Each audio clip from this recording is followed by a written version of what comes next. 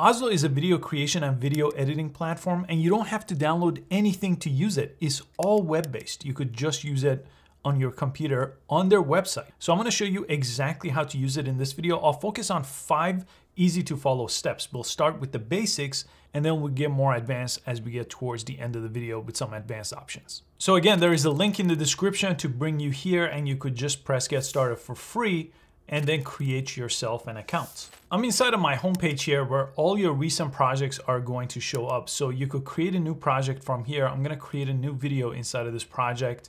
Now the very first thing in basic editing is obviously uploading the files you want to edit with. So you could use videos here, you could use photos. I'm gonna press upload and I have a few clips here. So I'm gonna go ahead and select all these like this and open it up. And I'm gonna give it a few seconds here, depending on the size of the clip, to go ahead and import the clip into the project. Now, once your media is imported, you should see a little preview of it right here. You could also refresh the page if this is taking a bit of time. And then what you could do is you just press this plus sign, or you could grab and drag it and drop it down here. Down here is called your timeline. So everything that you do in editing will take place down here, and then it will show a preview of what you're looking at. This is your final video over here. So this white line, this is called your playhead. So wherever this is, that's what you're going to see over here in your preview window.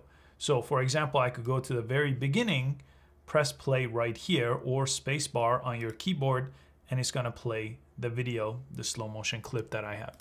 So next, I'm gonna bring my playhead over here right after this clip ends, and I'm gonna add another clip as well. So I'm gonna take this one, and you could bring it down here and then you could drag and drop it over here and make sure it connects to the previous clip. I let it go a little bit too soon so I could grab it and make sure it snaps. You see when it snaps, it creates this plus sign in between where you could add a little transition.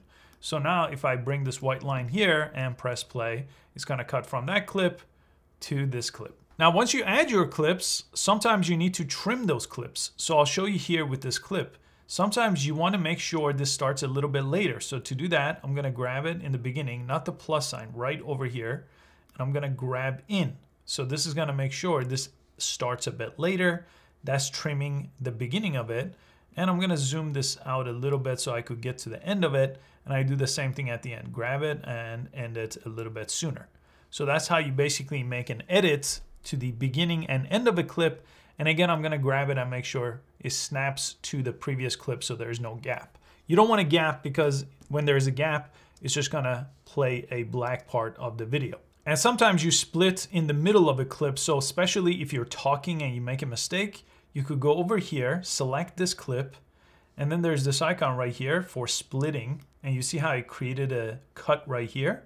I'm gonna go a little bit later, select this clip again, and I'm gonna cut again and then now I could take something in the middle out like this. So I could select this and then press delete here and then take the rest of it and then again snap it back to the previous clip. Or sometimes what I like to do is just leave a gap like this, go back to my media, and then I could bring in, for example, this time I'll bring in this image here and I'll just put it right over here in between the two different clips. So you do have that option as well. In this case, let me go ahead and delete this one and I'll just go ahead and bring this clip back over here. Now let me show you transitions quickly between each clip, like for example, when this clip ends and this one starts, right now it's just a cut. But if you press this plus sign, you have lots of different transitional options here. I'll show you directional here, for example. If you press play now, it kind of has a different look to it. So these transitions are really useful. Anytime you could delete them by clicking on them or updating them and choosing something else. Like this one, I'll choose that, and that's a whole different look to it that looks more advanced. Now, some clips are going to have a little audio, so sometimes you want to detach the audio. If you right click on any of them, you could actually detach audio from the clip and it'll take the sound from that clip and put it on a different track over here. Now, you could select this one, for example, and you could actually change the volume settings. So it's going to take you to the settings menu if you choose this audio track and you could make it, for example, a background music and turn it to 25% or 20% or all the way to zero. That's a great use of this. And you could always delete it too without interfering with the video file. Now, sometimes after you add your transitions, you might want to add some text as well. There's a text option over here. So if you look over here, we do have multiple different menus and text is really, really simple to use. You just click on it right over here and it's gonna add it to another track right here on top of your video. So if I grab this and put it in the beginning right here, I could click this text, it's loaded over here and I could type in my own text and it's putting it right over here. Let me go ahead and change the color so you could see it a little bit better. Let's just make it black. You see it is right over here. And you could grab it and make it whatever size you want and put it anywhere within your project. It's really easy to move it around. You could always change the font size over here. So again, you could maybe make it a little bit bigger here and you could change the font style as well. That's over here. You could change the opacity of it too if you want it to be a little bit transparent. You could always edit text like the same as video. So I could shrink this down, for example, so it's only over this one clip. You could always duplicate text as well. So let me duplicate it. And this one I'll bring to the end. So it's gonna go right after my video ends. And then I'll show you what that looks like. Right now it's black, so I'm gonna select it and change it to white. And this could be your end screen, right? So I'm gonna select it, I'm gonna type in the end, and there's your end graphic right here and I'll move it right to the center and it's gonna give me some guides. Right there is snapping right in the middle of my screen and I could trim this down again at the end. So now it's gonna go from my last clip to the end credit here. Now, typically when you're done with your project, I will show you some more advanced options in a second, but you could just press export right here, save this, and it's gonna download it to your computer. But let's move on to step two, because right now I wanna show you this options with animation that is really, really useful. So let me go ahead and delete this text. Let me select this video clip right here. Now, when you have a clip selected and you're in the settings window under edits, you have some more advanced options. One of my favorite is this one option called animations.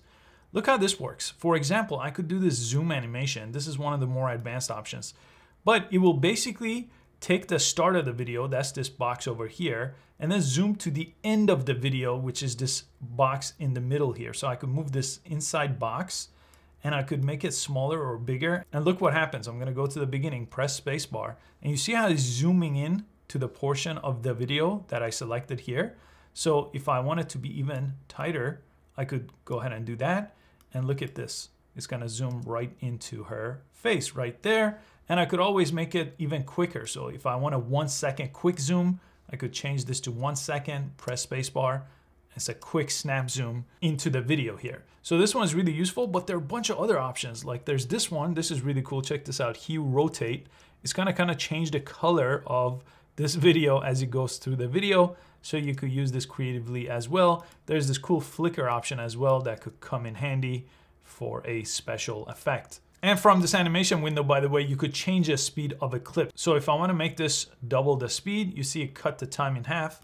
Now I could go in the beginning of it and I'll change the animation to none, press play, and it's now twice as fast as it was before. And while we're over here, there's an adjust tab too for each clip. Here, you could change the size of a clip, the position of the clip. You could just zoom it in this will keep it zoomed in the whole time so there's no animation to it. You could rotate it, you could flip a clip. There's a bunch of different options and you could change the color. There's brightness, contrast, then there's hue here. You could change the color of it and you could add saturation or take it out and make it black and white. So these are all different useful options. Each clip has them under the settings tab and I really enjoy this animation and speed change option. Now the third thing I wanted to show you is you could collaborate with other people so someone could jump in, edit the same project.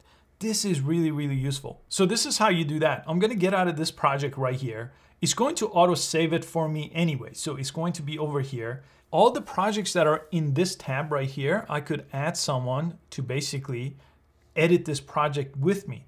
So I would type in someone's email name, invite them, and they could literally come into the same page, click this project, open it up here, and then make edits to it. And those edits will be saved automatically too. So if you were to outsource editing, for example, how great is that to easily work on a project with multiple people all online? Something that's just not very easily possible with apps that you download on your computer. And another really useful option is the ability to actually publish directly to YouTube. Check this out. You could press export right here. And instead of exporting to your computer, which is typically what I would do, you could instead press this option right here and press export and it will post to your YouTube channel.